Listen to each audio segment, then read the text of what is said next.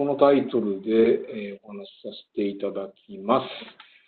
す。まあ、概要はこうなっておりまして、えー、ウェブに載っているところと同じですので、まあ、ここは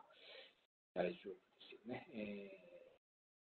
データをどのように使っていくのかということの動向と我が国における取り組みをご紹介いたします。それで私のこの話で、ぜひあの皆様にこのように思っていただければ非常に嬉しいというのを書き下してみました。まずあの LMS をもっと積極的に利用してみよ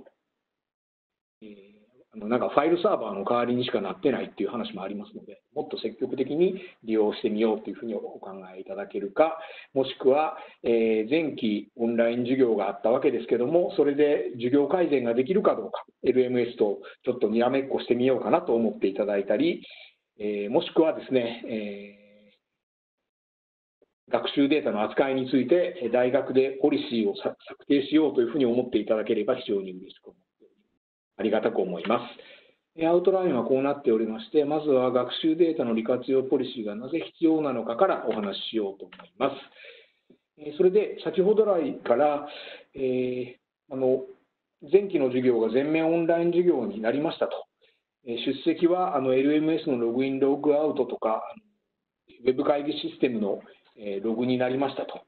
えー、ミニットペーパーがタイムスタンプのついた PDF になり試験もオンラインテストになりました。資料配布が認証付きファイル共有になりました。これまではそういうのが一部の授業だったわけですけれども、すべてに広がったということは、まそれなりのインパクトがあったというふうにあのご理解いただいているかと思います。それで、す、え、べ、てがデータ化されたということは、これはあの教育改善のためのデータになりうるだろうというのは、あのずっと議論されているところかと思います。例えばあの単独の授業でもあの教育改善のデータになりうるわけですけども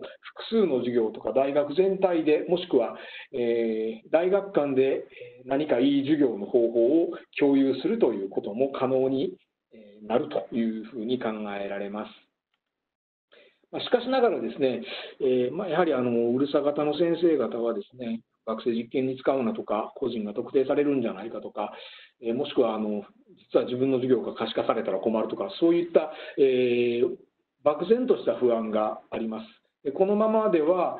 せっかくあの溜まったデータも、えー、いろんな疑念や不安で何も有効活用できないという状況ですので、やはりここはポリシーが必要であろうということでございます。はい、先行している海外の事例をご紹介しようと思います。まずアメリカはですね、連邦法でもう家族教育権とプライバシーに関する、もう1974年からそういった法律がございます。まあ、これをちょっとあの全部をあのご説明するわけにはいかないんですけども、この中では、正当な理由がある教育機関の関係者は、事前同意なしの教育データへのアクセスが認められております。まあ、正当な理由があるというのはどういうことかといいますと、これはもちろん各大学で定める、えー、判断するわけですけども、多くの場合は教育改善や大学の改善であれば、えー、アクセスが認められております。まあ、ただし、ちょっと下心を出して、ちょっとこれで論文書いてあるとか、そういう話はまたあの同意が必須であるということになっています。一方で、アクセスできるということは、えー、まあ、嬉しいばかりではなくて、アクセスしたデータに対する保護保護義務も同時に発生いたしております。また、この一番、このスライドの一番下のリンクを見ていただければ、全文見れるかと思います。はい、でこの FERPA にしたがって、えー、米国の各大学等は、え student、student's record policy っていうのを策定しておりまして、まあ、どこの大学でも、え registrar's office という組織がありまして、まあ、そこが主体的に、えー、その部局でとかシステムごとではなくて、大学全体のポリシーを定めております。これはたまたまジョージアテックと、ミシガン大学をに出したんですけども、えそのあの各大学はそのようにしています。イギリスはどうなんでしょうか？あのえー、イギリスの NII にあたる JISC がラーニングアナリティクスをやるときにはこのような、えー、方針でやりなさいというのをきちんとまとめています。はいまた、えー、 learning analytics の国際会議では、えー、あのチェックリストを提案したりですとか、これ DELICATE checklist ですね。ちゃんとあのそもそも learning analytics の目的は何なのか、データ収集と利用目的の利用範囲を明確にしておくとか、まあ、こういったあのチェックリストを提案していたりとか、えーいろえー、いろんな国の、えー、 learning analytics に関するポリシーを収集し、比較するという、そのようなプロジェクトも、えー、実際に報告されております。国際標準についてもちょっと調べましたら、えー、 learning analytics interoperability、privacy data protection policies というのも策定されております。まあ、このような、えー、海外の動向を見ますと、日本でもそういったものが必要であろうというふうに考えるわけですね。でそこで、えー、我々なんですけども、えー大学 ICT 推進協議会の学術教育コンテンツ共,、え共有流通部会において、教育学習データ利活用ポリシーのひな形の策定を行っております。ただし、まだあのちょっと非常に申し訳ないんですけども、えまだ完成しておりませんで、本来はあのこの4月にお出しするつもりだったんですけども、このコロナ対策であのちょっと吹っ飛んでしまいまして、えー、まだあのできておりません。あの今日は概要をお伝えしたいと思います。あのえポリシーというからには、えー、このスライドの右右半分にお示しした通り、大体あの憲法のようなものがあって、それを少し詳細化したものがあって、さらに手順のようなものがある、まあ、そのような3階層のポリシーを我々提案しております。1個ずつお示ししますと、まずは最初に憲法のようなところで、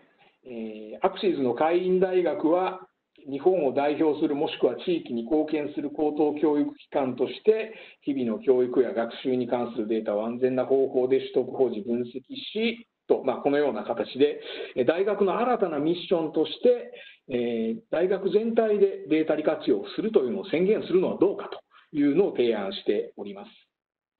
もちろん、このひな形を全面的に受け入れるかどうかというのは各大学様の判断になろうかと。それをもう少し詳細化したものが、えー、N 原則になりまして、まあえー、今お示ししているのは8原則になるわけですけども、まあ、これによりますと、えーまあ、先ほどのデリケートチェックリストのような形になっています。利用目的をきちんと明示して目的外には使いません。利用並びに分析手法とその結果を明示いたします。本人同意をいつでも取り下げることができます。関連する法令を遵守します。いつでもデータのデータにアクセスできるように、えー、ダッシュボードを提供します。個人が特定されないようにします。データに適切な安全管理措置を施します。そして、えー、研究研究する場合はですね、その成果の共有に共有によって、えー、貢献するという形です。まああのえー、先ほど申し上げた通り、この学習データの分析によって、え、研究をしようというパターンであってもなくてもですね、担当授業のデータを教育改善のために分析するということは、大学の業務の一部というふうに見なすことができるんではないかと私は考えておりますので、えー、まあの論文を書くわけではないパターンであっても、このような原則を学生に示すと、有用で有用ではないかと思っております。はい、えー、以上になります。あただし、えー、我々のあのこのポリシーの策定にあたっては様々な課題がございますので、今後ともお知恵を、えー、いただきたいと思っております。ありがとうございました。